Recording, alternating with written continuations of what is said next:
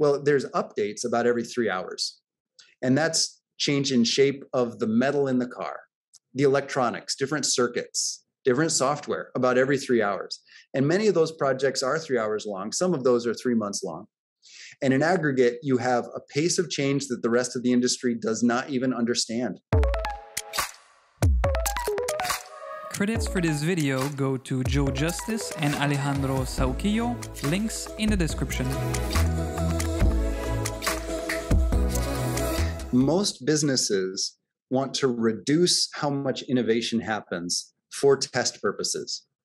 Testing or homologation, making something road legal, that's usually a year long and $10 million, maybe more, sometimes $100 million per model.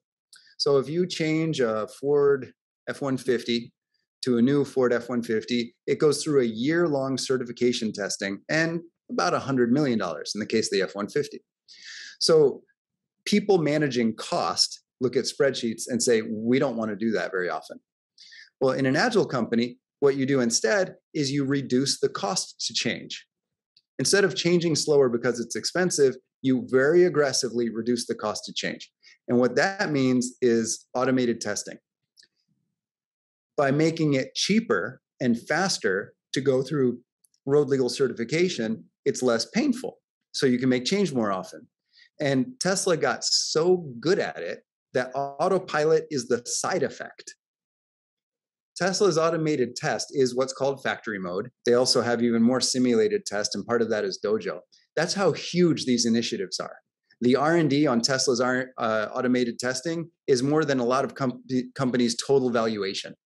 Like testing is a first class citizen because it is the gateway to speed. If you can test a new model as road legal or not in 10 seconds for $1, what does that mean to your pace of deployment of new features? And Tesla is pretty close to that. It's a huge effort to do that. I mean, it's so big that it's the entire autopilot budget. Like autopilot was the side effect of having the cars test themselves in factory mode. But the result is there's essentially zero cost to make change in Tesla. And every single car is individually tested as road legal. What was happening is that person had an idea that if they changed the way the rods, the aluminum rods that connect from the charge port to the battery pack, that was the bottleneck for allowing new power to, more power to come in and it would dissipate its own heat simply by being a larger diameter rod and a few other things. And if they changed this rod, they could get more kilowatt hours into the pack. And what they were doing was they had the idea, so they just started bending rod.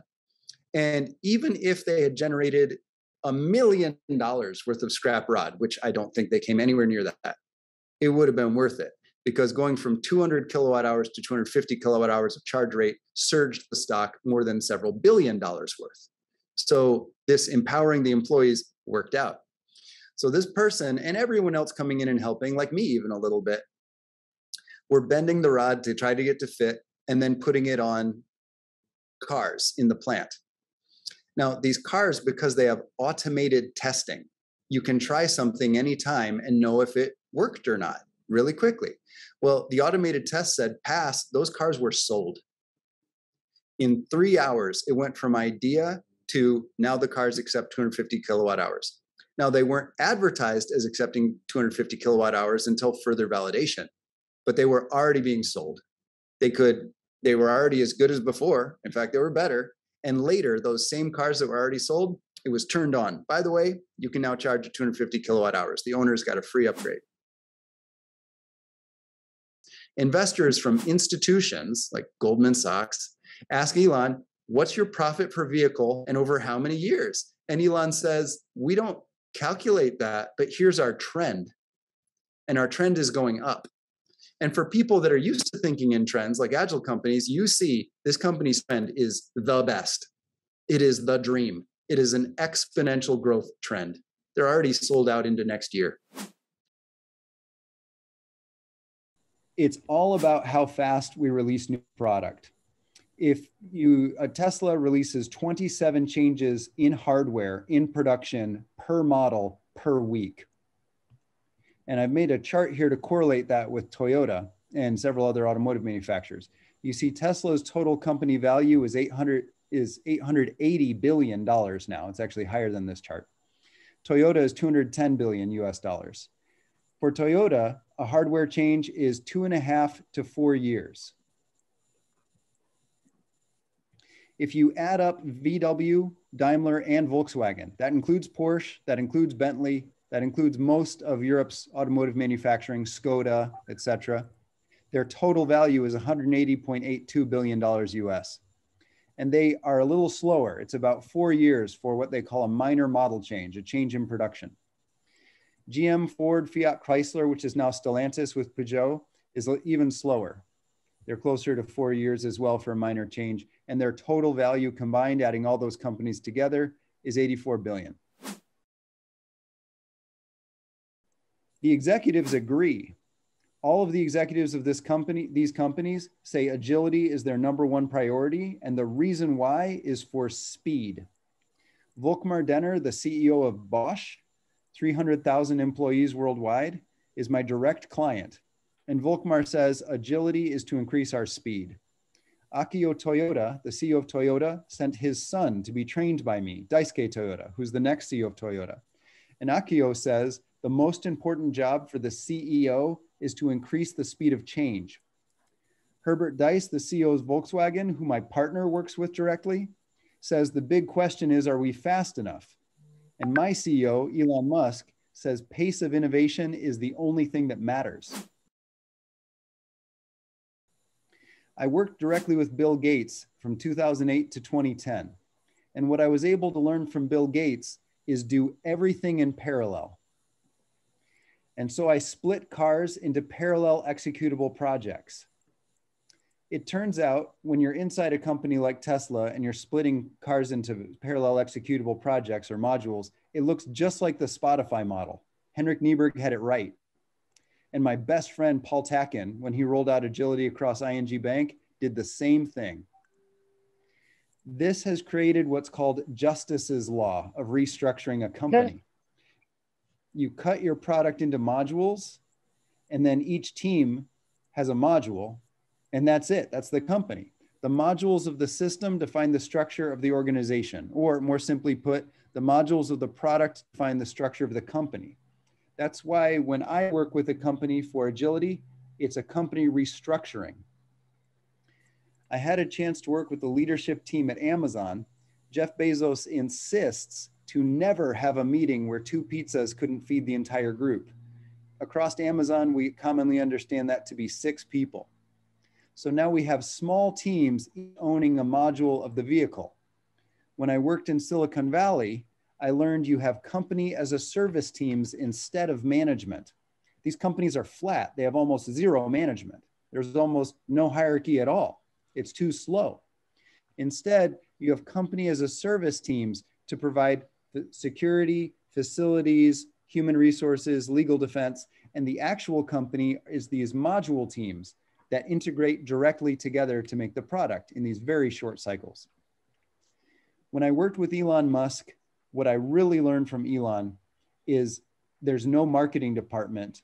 Your only goal is what's possible according to the laws of physics. A lot of people don't understand when Elon Musk talks about first principles thinking. There's a lot of good logic around it, and Elon himself has said several pages worth of information. What it really translates to be inside Tesla is there is no product goal unless it's ultimately what's possible according to the laws of physics. There's no mar market segmentation, there's no minimum viable product. It's simply what is physically possible. That's your only goal. That allows the people leading the products, I'll call them product owners, to innovate completely freely without ever having to wait for marketing targets or ever benchmark another competitor.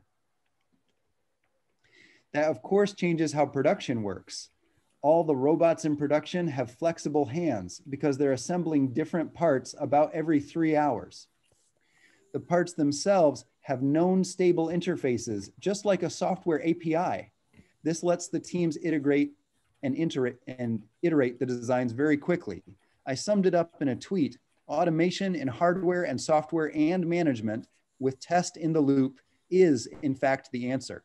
Humans are for creative problem solving, automation is for everything else.